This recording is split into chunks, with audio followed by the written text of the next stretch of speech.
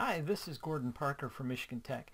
In this video we're going to do a real simple example of a SimMechanics model of a vibrating mass. So here's the system that we're going to simulate in SimMechanics. So we have a fixed bottom and a side and here's a little mass, just a little block. And we're going to connect that block to the left edge with a spring and a damper. There we go. Um, so the mass has mass M and the spring has stiffness K, the damper C, and we're going to do the old magical no friction between the block and that horizontal surface.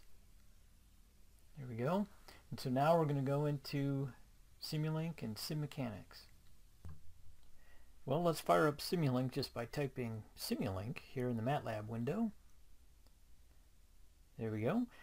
And what we're going to be using is down here under Simscape and SimMechanics, second generation. And specifically, we're going to be using the um, solid element and the rigid transform and a prismatic joint. Now, we'll go ahead and get a template model going by typing in sm new here at MATLAB. And that will bring up a couple things, a template model, which we'll be using quite a bit. And it also brings up a library of elements that is behind the template model. And let's just take a quick peek at that. The body elements here are matching up exactly with what we have in the Simulink browser. So here we are in body elements, body elements, I like using the Simulink browser, so I'm just going to get rid of this nice little graphical interface. And I'm going to group these things together. We'll actually just sort of bin them together and then comment them out with the percent click there. And we'll pick and choose from those elements from the template model as we go along. Call this vibrating masses or mass because that's what it is. And there we go. So let's look at these blocks for just a minute. Here under the solver configuration, the, this one really only becomes active if we click one of these boxes. What the simulation will be using is here under model configuration and it's defaulted to a variable time step ODE 45. Let's just go with 5 second duration. And there are some advanced options that we'll be using later Okay, now under the world frame, you know, there's some good information here, but the main thing that's important to note is that you can have as many of these world frame blocks in your model as you'd like. And sometimes you can use this to clean up the block diagram a bit. So for instance, I could right click on this and drag, that gives me a copy, and then I could use that to, you know, again, clean up the diagram. And under the um, configuration block here, the mechanism configuration, this is where we define our gravity. So right now it's a negative z of 9.8, but let's just make it a, an even 10 in the negative z. Choose whatever strange units you want. And there we go. So let's hook up solid to the rest of this model. Save it and update the diagram. I'm just going to use Control D a lot of times instead of that clicky thing. And there's our block, and if we shrink down a little bit with some mouse scrolling and rotate it, we can see that it is indeed a nice three-dimensional block. And we can turn all of the axes on at all times. That can be kind of confusing sometimes if you have a complicated model, but for this one it'll be nice to see all those little red and blue axes. Cyan is reserved for whatever axes are current at the moment. You'll see what I mean in a moment. So there's an isometric view, and we have all these other beautiful views. There's one from the back. We'll go back to this one, fit to the screen. And there you have it. So play around with navigating that a bit if you'd like. So let's move some things around here a little bit. And uh, Take a look at our frames. It's always good to explore your frames a little bit. There's our world frame. That's the default name, but I'm going to name it frame 0. I kind of like 0, 1, 2, 3 for my frames and everything else. There's a good reason for that that you may see in another video. And when we update the diagram, then lo and behold, it says frame zero in our Explorer, as they call this window. There's our solid frame, and it's completely coincident with the world frame. It doesn't look like it, but it's actually at the center, the geometric center of that block. Here's our editor for the block, and if I scoot these things around so that we can see them in the same view, then we can see that the editor for the block default axes are that, you know, Z is up, X is pointing off a little bit to the right, and so on. And it matches up perfectly with our block that we dropped in there because we haven't rotated it in any way. Well, let's go ahead and edit this block a little bit. I can pick all, all sorts of funny shapes. There's a cylinder. I have to hit F5 to actually update it in the viewer here in the editor. I could uh, make all kinds of crazy shapes, but the simple ones are a sphere. There's my F5 again.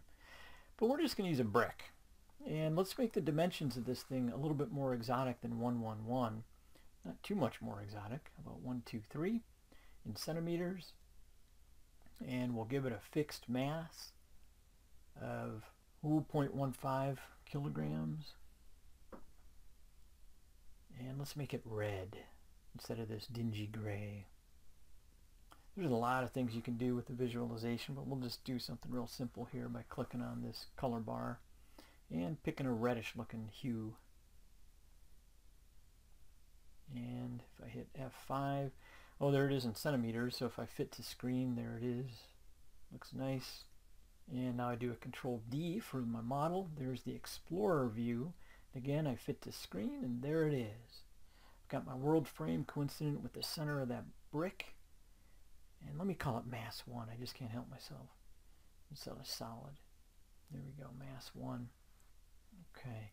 Now, this is super powerful stuff. I highly recommend going into the properties and the block annotation of this mass and I'm going to actually grab a couple tokens, as they call these things, the actual mass value and its units. And I can add some text to this, my own custom text. So I'll put m equals on there, pretty exciting. And when we go ahead and say OK, boom, look at that. I've added this custom annotation. So now I can just look at the front view of this block diagram, this model, and I can see that the mass is 0.15 kilograms gives me a nice visual cue so I don't have to go clicking around with all these blocks to see that I've really got it configured how I want it. It's always good to look at your frames. Here we are, the frame zero or the world frame. Well, now let's go ahead and play with transformation. So I'm going to uncomment this transformation and just drop it right into here and it'll automatically connect. And let's give it a translation only. Let's go 5 centimeters in the plus x direction. So when we update the diagram, it should pop the brick out just a wee bit kind of towards us, a little bit to the right. So there's the plus x standard axis. 5 centimeters. There we go. That looks all good. And I'm going to shrink this down so that when we do the control D, we can actually kind of see it change uh, on the on the screen so that it doesn't pop off the screen and, and we can't see it. Boom, Control D. Pretty exciting. So it just moved. There's the world frame highlighted in as cyan. Let's explore the rigid transform just a little bit. It has two ports, one labeled B and the other labeled F. B is for base and F is for follower. So the base, the B port, is attached to the world frame. So that means that the B port is exactly the same as the world frame. And let's just take a look at that. So there's the world frame. There's the B port attached to the world frame W. And when I click on B, no change. It really did change, but we just can't see it because it's exactly the same.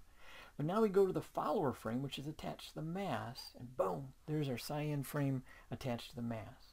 We kind of click back and forth here, and we can see the two sides of that frame, that transform. Well, we can also do a combined transform. So we can do a rotation in addition to this translation. So let's tilt the, the mass down, you know, 30 degrees in the y direction. So we're kind of like tipping it towards us a little bit. Standard axis plus y, 30 degrees, right around that y axis. And when I do a control D, there we go. I wouldn't recommend doing uh, combined transforms until you get really used to this. So, so we're going to get rid of the translation that was just kind of for illustration. And we're going to rotate that block all the way down onto its largest cross-sectional area dimension there. So 90 degrees. And that's the, the surface that we're going to be sliding it on. And I got rid of the translation so it, now the world frame and the, the center of the block are all coincident. And of course we need to annotate the, the transform with exactly what it's doing. So we want to say that it's rotating 90 degrees about that y-axis. So there's the rotation angle token, the angle units token, and the standard axis. Uh, there it is. Boom. And so now we can shift those around and add a little bit of our own custom annotation about. Pretty exciting customization. Again, you can just look at the front face of this model and see what's going on. Highly recommended. Well, we need to add in a spring here. So let's scoot this over. And the way we're going to do the spring is with a prismatic joint. Prismatic joint is a translational joint.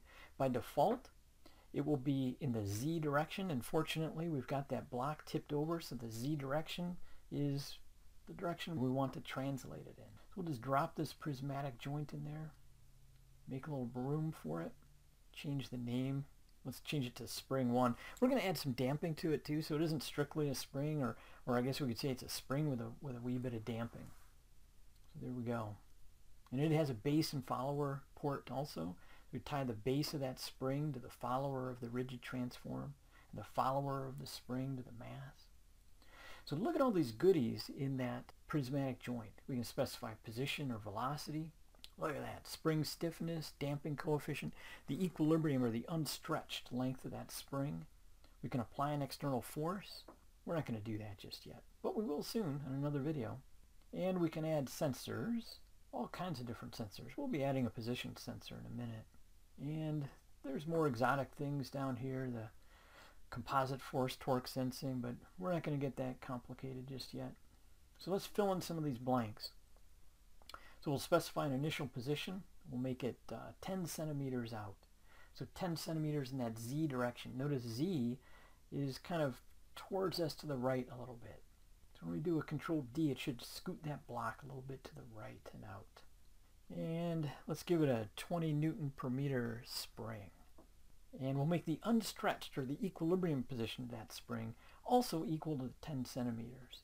So initially this thing will be in a nice relaxed configuration. And we'll give it a wee bit of damping, this 0.5. No actuation. And we'll throw a, a position sensor onto this thing. Okay, very nice. Now, it gave us an extra port for the sensor, and it's kind of in an awkward spot. So I'm going to do a Control R a couple times on that mass to kind of flip it around and get it out of the way.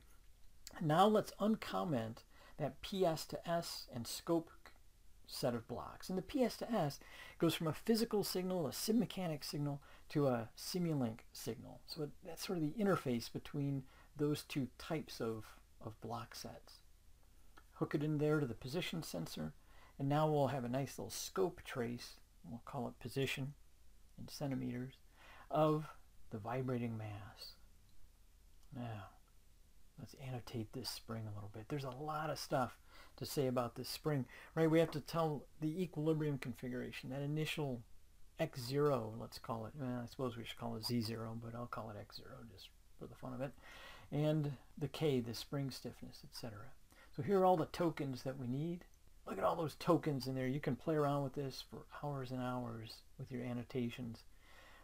But, you know, you sort of settle on some things you like and then you stick with them. And we'll jiggle these around a little bit so that they sort of tell a meaningful story. I'll call this one EQ for equilibrium. And X0. I guess I'm thinking in terms of the world frame, but if we think in terms of that block frame, then it would be Z0, but I'll just call it X0.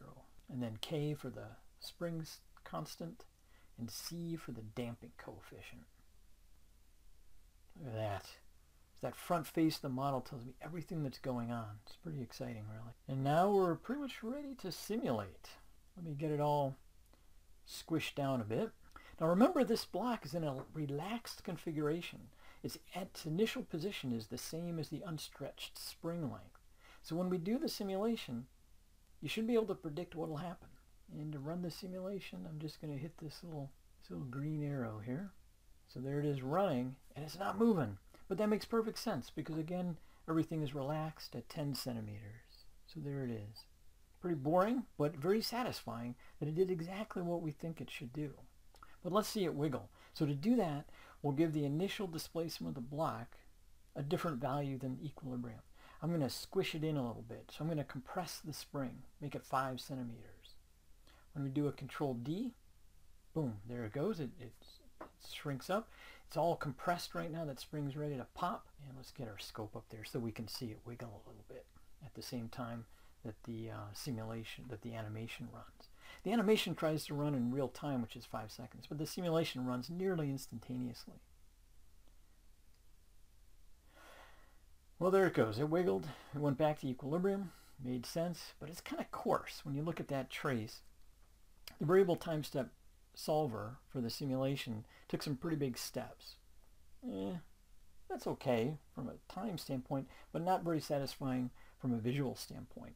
So let's play around with that configuration parameters area and make sure that the variable step size solver never goes too big with its step size. I'm going to go with 1 over 60, which is just kind of a good visual step size. Oh, look at that. Looks very realistic. Notice that you don't see a spring, so you have to sort of use your imagination there because it is just a prismatic joint that has some funny properties. But a nice smooth profile. Now, what I'm doing here is I'm just rerunning the animation. It's not actually rerunning the simulation, just the animation. And the nice thing about that is I can change the view and just rerun the animation again. If I had a very complex simulation that took a long time to run, I can run it once and then redo the animation many times with different views. Super powerful. Well, now that we have a functioning simulation, we can play. So I can go in here, for instance, into our quote-unquote spring and reduce the damping. Make it more wiggly by changing it from a 0.5 damping coefficient to 0.1. Rerun the simulation, sure enough, it's much more vibratory. So those are the sort of fun things we can do with the uh, once we have the simulation put together. So once again, very simple vibrating mass simulation. We used a couple different blocks in SimMechanics that are pretty useful. And my name is Gordon Parker from Michigan Tech, and thanks for watching.